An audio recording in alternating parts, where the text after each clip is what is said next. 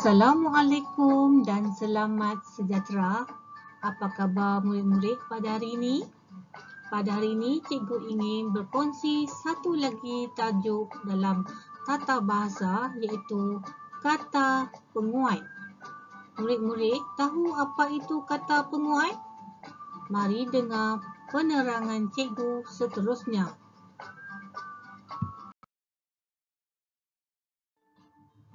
Kata penguat ialah kata yang digunakan untuk menguatkan maksud sesuatu kata adjektif.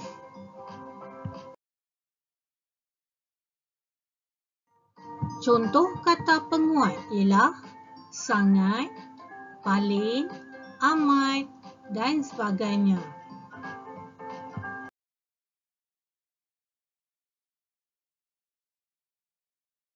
Kata penguat terbahagi kepada tiga iaitu kata penguat hadapan, kata penguat belakang dan kata penguat bebas.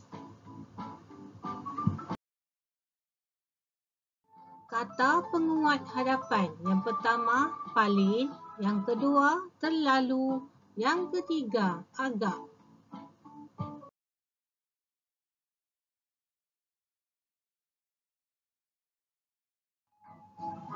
Kata penguat hadapan. Berikut adalah contoh ayat yang menggunakan kata penguat hadapan. Yang pertama, paling. Kek ini paling sedap. Paling berada di bahagian hadapan kata adjektif iaitu sedap yang ditulis dengan berwarna merah adalah kata adjektif. Yang kedua, terlalu. Buku itu terlalu tebal. Tebal adalah kata adjektif, terlalu adalah kata penguat hadapan. Ayat yang ketiga. Cerita itu agak menarik. Agak adalah kata penguat hadapan, menarik adalah kata adjektif.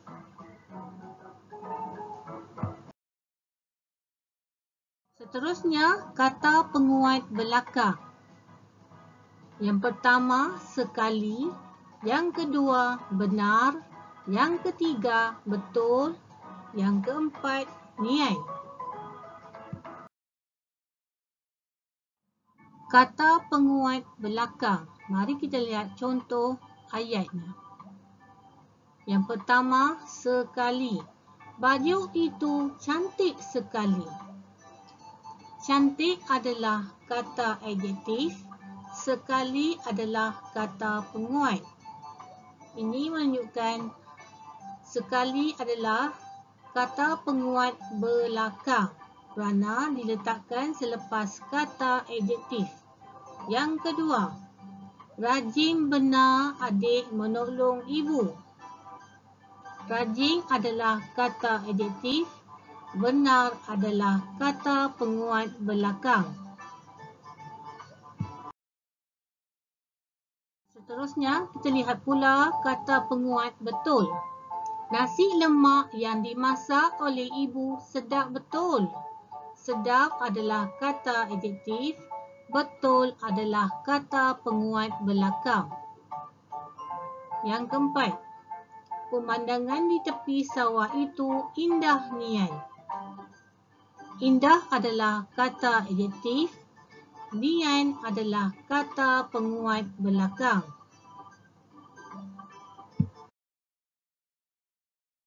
Mari kita lihat pula kata penguat bebas. Ada tiga. Yang pertama, sangat. Yang kedua, amat. Yang ketiga, sungguh.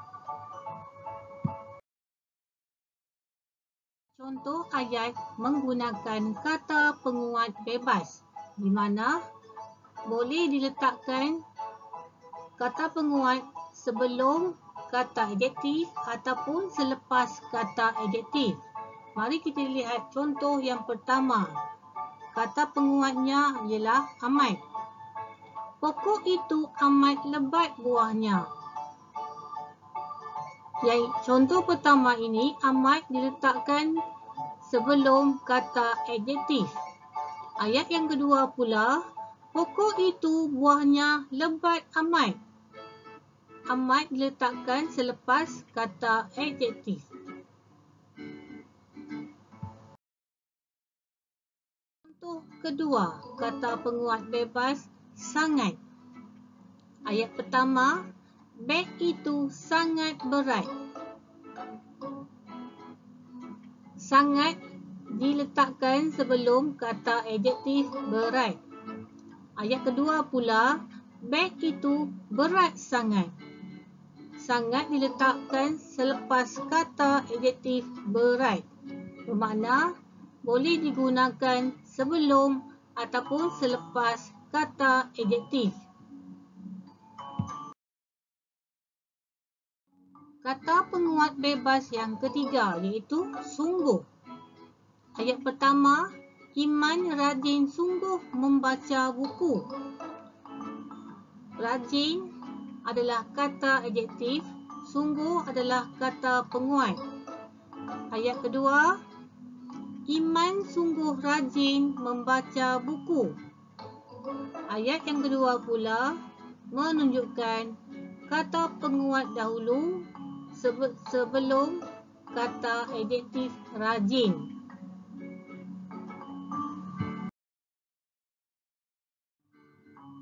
Seterusnya, latihan untuk menguji kefahaman murid-murid.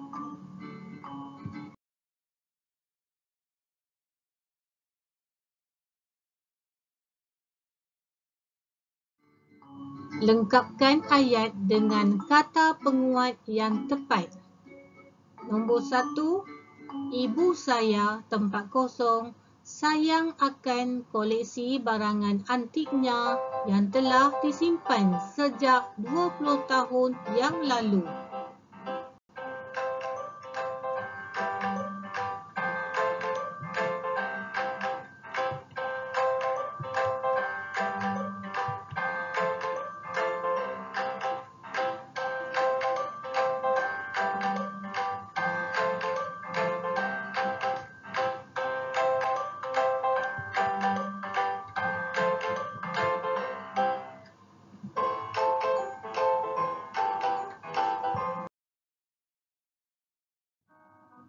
Nombor dua, kasut yang baru dibelinya itu tempat kosong mahal.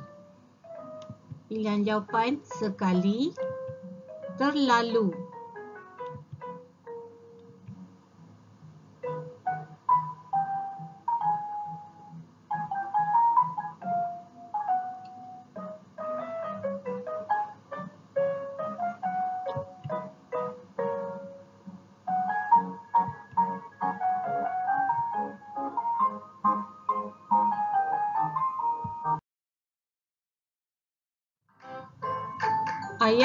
Yang ketiga.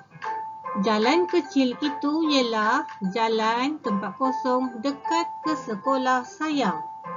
Pilihan jawapannya paling benar.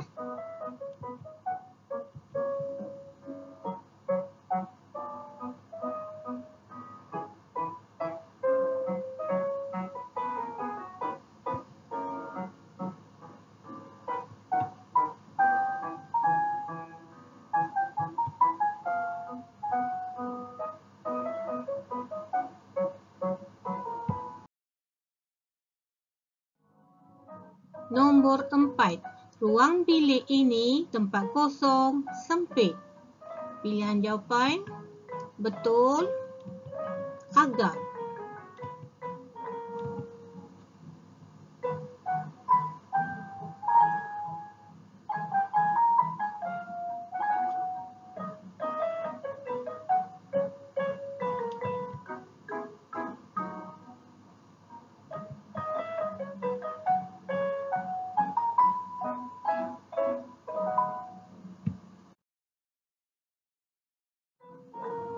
Yang kelima, buah rambutan yang dibeli oleh ayah manis, tempat kosong. Betul, nian. Itu adalah pilihan jawapan.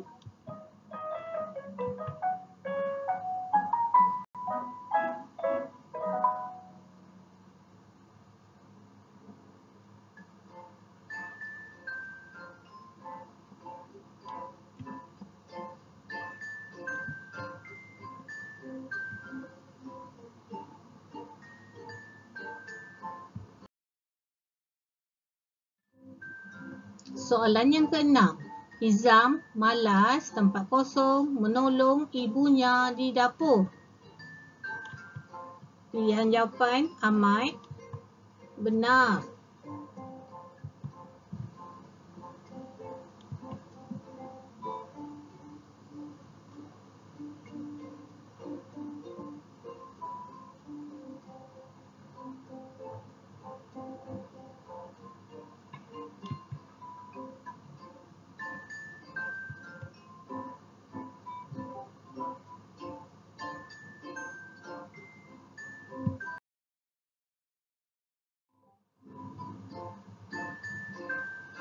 Tujuh, rajin, empat kosong, ayah pulang ke kampung pada musim durian.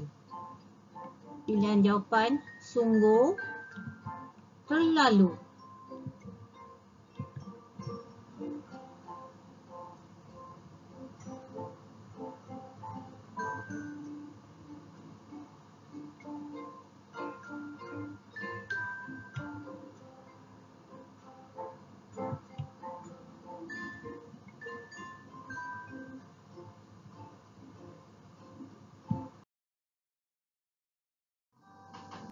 Semoga perkongsian ini dapat memberikan manfaat kepada semua murid. Terima kasih kerana subscribe channel Jari Jemari Alia. Jumpa lagi. Assalamualaikum dan selamat sejahtera.